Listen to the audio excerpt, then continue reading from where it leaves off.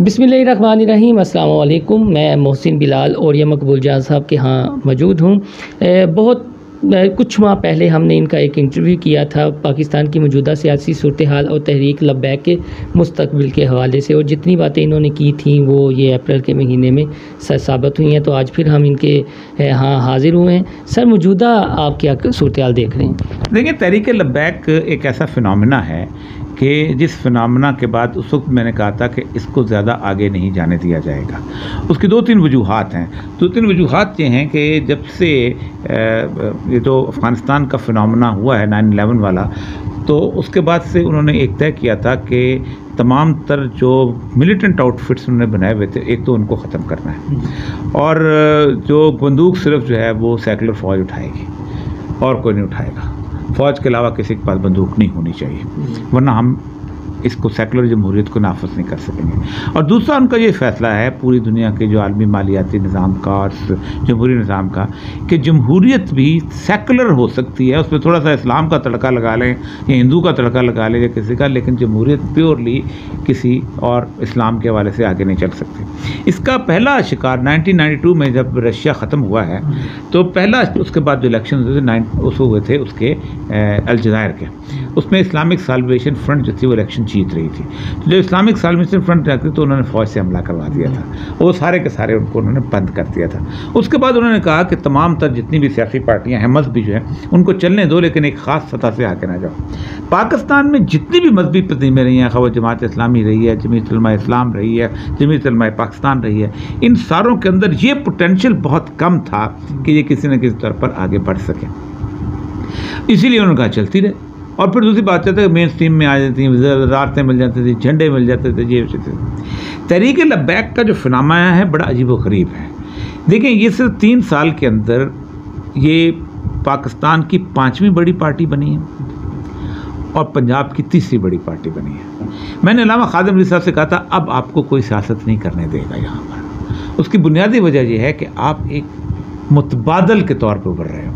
और मुतबादल भी ऐसा है कि जिसके अंदर कोई और अब देखें ना अभी आप इन्होंने दहशत गर्दी पर पाबंदी लगाई है हम्म। इनका कोई कोई दहशत गर्दी का आउटफिट ही नहीं है किसी किस्म का कोई दहशत मतलब याद हो जाए ना कि बंदूकें चलाते हों जहादी तंजीम हो और कुछ का अगवा बरए तवान कर तो कोई ऐसा काम नहीं है जिस तरह के हंगामों की बात है इस तरह के हंगामे पाकिस्तान में दस हज़ार दफ़ा हो चुके हैं। जब बेनज़ीर पर हमला हुआ था उसका उसका हुआ था अटैक हुआ था। और वो उसको यहाँ से उसकी उसकी जाँ बाक हो गई थी तो बेनज़ीर के बाद पाकिस्तान की पूरी की पूरी इकॉनमी शल हो गई थी तेईस तो रेलवे स्टेशनों को आग लगाई थी औरतों का रेप हुआ था लेकिन किसी ने ये नहीं कहा कि दहशत गर्द पीपल पार्टी क्योंकि वोट लेके आई थी एम क्यू एम ने कम अज़ कम जब वो नाइट टू के मैरिज के बाद बाहर हुए, दो सौ से ज़्यादा एस एच ओ को कत्ल किया है। लेकिन किसी ने नहीं कहा कि जी वोट लेके आते हैं, सारा कुछ, ठीक? इसी तरह पीटीआई ने जो कुछ किया था अपने हिसाब से, इनसे ज़्यादा किया था उस वक्त भी भी लोग मरे। ना काजी हुसैन अहमद के धरने हुए तारकादरी के धरने हुए किस किस के नहीं हुए। लेकिन पर्टिकुलरली दहशत गर्द की तंजीम का करने का बुनियादी मकसद सिर्फ़ यही है कि इसको ब्लेम करके नॉर्मल पॉलिटिक्स से बाहर निकालना है, कि ये आइंदा मजीद वोट की पॉलिटिक्स ना कर सके।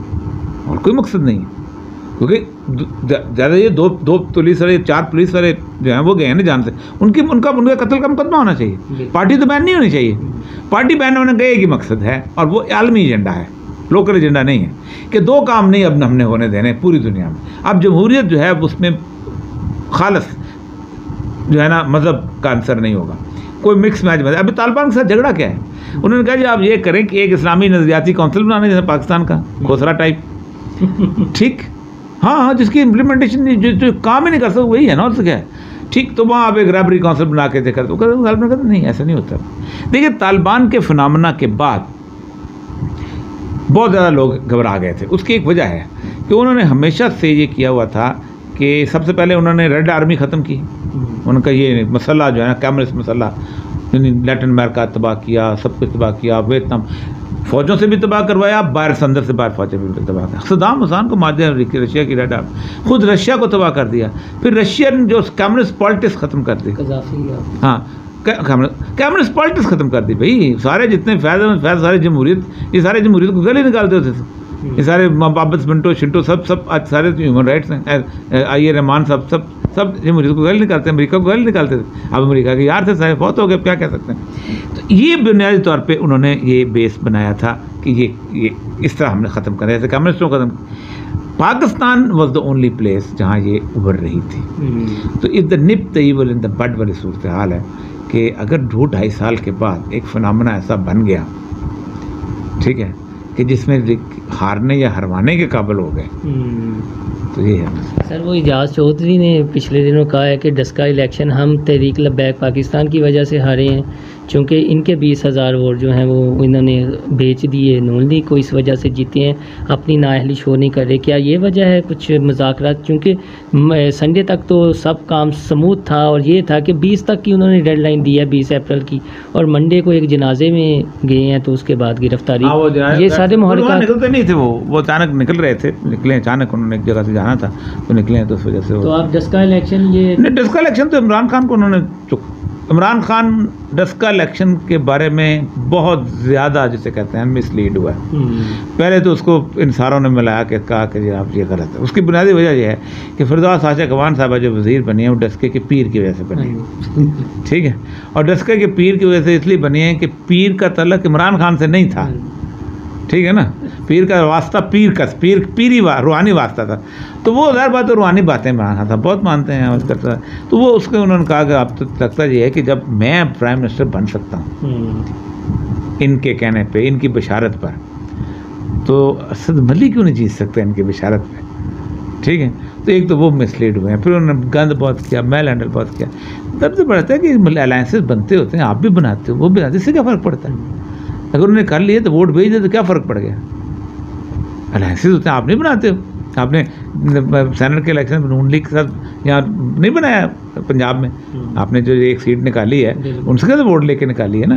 तो वो नहीं है। मसला सारा ये ऊपर ओवरऑल है। दूसरी बात ये है ना कि ये जो पाकिस्तान के अंदर ना बेसिकली मजहबी सियासत को तबाह करने के लिए दो बहाने लगाए जाते हैं। हम्म, एक है फैटफ का बहाना। हाँ फैटफ का मैंने चैलेंज किया हुआ है कि मुझे बताएँ पाकिस्तान अगर ब्लैक लिस्ट में भी चला जाए तो उसको क्या नुकसान होता? है कुछ नहीं होता। सिर्फ़ अकाउंट खोलने और उस करने के अंदर थोड़ा डिले आ जाएगा। फैटफ के पास कोई इम्प्लीमेंटिंग टूल ही नहीं है अपने आप को नाफज करने। अपनी बात को नाफज कोई कतन। फैटफ एक एडवाइजरी बॉडी है। फैटफ एक ओवरलुक करने वाली बॉडी है। लेकिन उसको लड़ा उसको बहाना बना बना के जिसको चाहो बंद कर दो जिसको चाहो एक तो फैटफ है। दूसरा ये जो यूरोपियन यूनियन का मैंने पूरा लॉ पढ़ा है। तमाम उनतीस मुल्क हैं यूरोपियन यूनियन के। They are together for two purposes number एक उन्होंने कहा है कि हम करेंसी जो है ना उसकी वजह से हम एक हैं। और दूसरा यह है कि हमारी बाउंड्रीज जो नहीं होंगी इंटर मसला। फॉरेन पॉलिसी के हिसाब से हर मुल्क आज़ाद है। अपनी उसकी अपनी पॉलिसी अक्सर मुल्क हैं जो नेटो में नहीं हैं तो उनको क्यों नहीं ले आते हो? वो कहते हैं हम नहीं नाटो में जाते हैं अभी ताज़ा ज़्यादा यूक्रेन वाला जो मसला है उसमें दस दस लोग उसके मुखालफ थे। अभी अमेरिका ने रूस के सफ़ीर को भेजा हाँ, बिल्कुल। भेजा ना? हाँ कितने इन्होंने भेज दिया अमेरिका के कहने पे? हालाँकि उनका बाप है। हाँ कोई भी नहीं बोला तो यहाँ अगर फरहान का उसका सपूर चला जाता कितने लोगों ने करना था? और मुश्किल होता है। और जो इमरान खान साहब इतना बड़ा हीरो बनता है कि मैं दुनिया को बताता हूँ कि हेट स्पीच है कार्टून से ज़्यादा हेट स्पीच हो सकती है कोई? हम्म, तो कार्टून तो आप तो पार्लियामेंट पूरी पास की होती तो एक 22 करोड़ अवाम की विल जाती कि हमारी हेट स्पीच हुई है। तो ये तो बहुत बड़ा था। असल मतलब यह कि पार्लियामेंट में कोई पार्टी भी नहीं चाहती कि ये बिल पेश हो। हम्म, बहुत सारे लोगों के चेहरे खुल जाएँगे। आप क्या समझते हैं? फ्रांस फ्रांस के सफीर को भेजने के हक में शरीर रहमान वोट देगी। रजा रबानी वोट देगा फवाद चौधरी वोट देगा शीरी मजारी वोट देगी। माँ मर जाएगी इनकी। सर फ्यूचर क्या देख रहे हैं? तरीका आपने पिछले इंटरव्यू में कहा था कि मार्च और अप्रैल में तय हो जाएगा और हाफिज साद रिजवी इस इतनी बड़ी तहरीक को कंट्रोल में रख पाते हैं ये भी तय हो जाएगा और कुछ मज़ीद सूरत हाल बनेगी। तो अब आप क्या देख देखिए दो चीज़ें हैं। पहली बात यह कि तहरीक लब्बैक बुनियादी तौर पर एक तहरीक नहीं है एक हजूम है।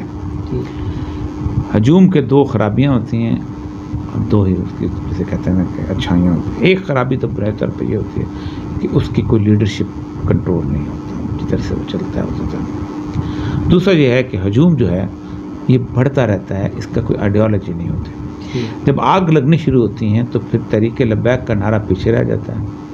हर बंदा अपना दुख लेके शामिल हो जाता है। हम्म, जिसको पटवारी ने ज़मीन नहीं दी उसका भी गुस्सा है। जिसको एस एच ओ ने जितर मारे उसका भी गुस्सा है। जिसका बेटे ने खुदकुशी की उसका भी गुस्सा है। उसका गुस्सा को टारगेट मिल जाता है। तो वो एक इज्तमाही गुस्सा बन जाता है।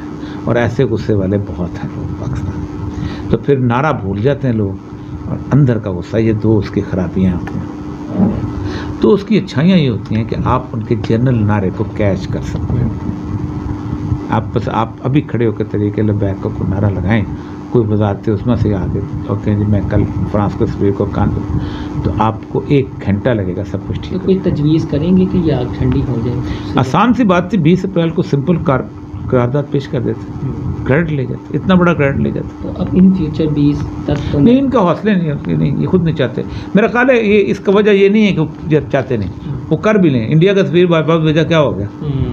कोई नहीं होता। और था। पोलैंड का सफ़ीर आपने वापस भेजा था क्या हुआ? कुछ नहीं हुआ। ठीक है। और इराक में जब असला पकड़ा गया था आपने इराक का सफ़ीर वापस भेजा था क्या हुआ? कुछ नहीं हुआ कुछ नहीं होता होता।